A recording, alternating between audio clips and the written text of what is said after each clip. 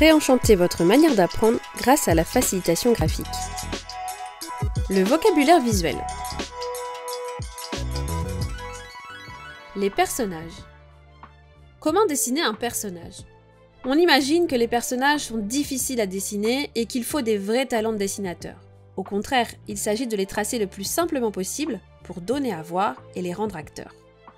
Une tête ovale, un corps en forme de poire, des jambes, des bras que l'on termine soit par un ovale, soit par une pince. Deux yeux et une bouche permettent d'animer un personnage et de lui donner une expression. Le nez et les oreilles sont accessoires. En revanche, le regard du personnage permet de donner de l'information et d'orienter le lecteur vers un élément. Par exemple, en traçant les yeux tout en haut de la tête du personnage, on oriente le lecteur vers une information située au-dessus de la tête du personnage. On peut reproduire la même chose et faire regarder le personnage vers le bas ou sur le côté. Pour donner des expressions au personnage, il suffit d'utiliser les smileys que tu connais pour le rendre joyeux, heureux, en colère, malheureux, peureux, dubitatif, surpris. On va jouer sur les yeux, sur la bouche, mais également sur les sourcils. Pour représenter une foule ou un public, il suffit de dessiner des petites vagues, des petits U à l'envers et d'ajouter un cercle rond pour la tête. On aura alors une impression de foule. Comment animer un personnage? Pour animer un personnage, mais aussi un objet, on peut représenter le mouvement par de simples traits. Par exemple, un personnage qui lance une balle ou deux personnages qui se serrent la main. Un personnage peut donc interagir avec d'autres personnages ou même avec des objets. Il peut par exemple tenir un élément comme une pancarte dans laquelle on peut inscrire du texte pour transmettre de l'information. Comment représenter un personnage selon son métier ou son genre? Pour jouer sur les représentations, il faut ajouter des pictogrammes au personnage. Par exemple, pour représenter un roi, on peut lui dessiner une couronne et une cape. Pour représenter un homme politique ou un homme d'affaires, on peut lui rajouter une cravate. Pour le personnel de santé, un chapeau avec une croix. Pour un cuisinier, une toque. Pour un étudiant, un chapeau de remise de diplôme. Pour une femme enceinte, un ventre arrondi. Et pour un enfant, on peut jouer sur la taille du personnage.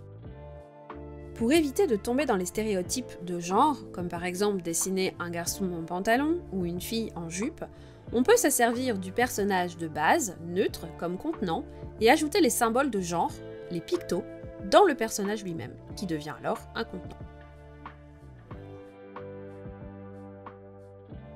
Il existe toute une multitude de pictogrammes possibles et utilisables dans le vocabulaire de la facilitation graphique. La plupart font déjà partie de ton environnement visuel.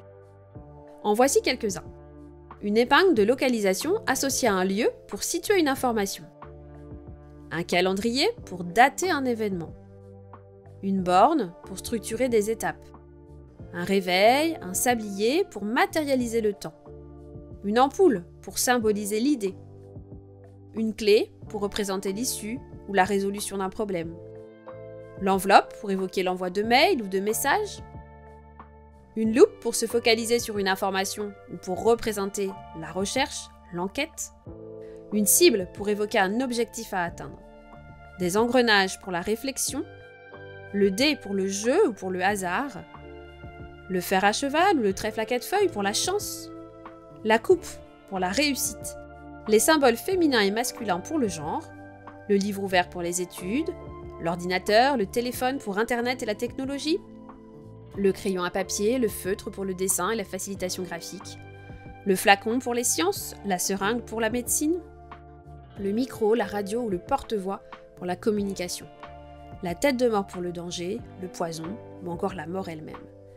Un bateau, une voiture, un avion pour les moyens de transport, une usine pour l'industrie, une tirelire pour la richesse ou l'économie, un arbre pour la nature, un panneau sens interdit pour l'interdiction, etc. Les couleurs. Les couleurs peuvent être utilisées, elles aussi, pour donner du sens. Elles doivent être utilisées uniquement pour donner du sens et non pour faire joli.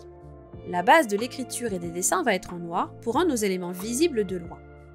Le rouge peut être utilisé pour représenter l'interdiction, le sang ou encore l'amour.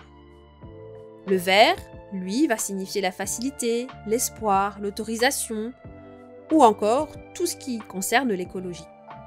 Le bleu pour l'océan, ou les sentiments comme la peur, ou le ressenti comme le froid. Le jaune pour le soleil, la lune, ou pour animer des éléments comme une ampoule qui brille, en guise d'espoir. Le orange et le violet sont des couleurs plus neutres qui peuvent être utilisées pour des liens ou du texte et qui ne sont pas forcément porteuses de sens, mais qui peuvent indiquer une direction ou attirer l'attention de notre œil. Le rose, à utiliser avec parcimonie, pour l'amitié, pour dessiner un petit cœur. L'idée est de respecter 5 couleurs maximum sur une visual map pour ne pas perdre de sens et pour ne pas trop perturber notre œil.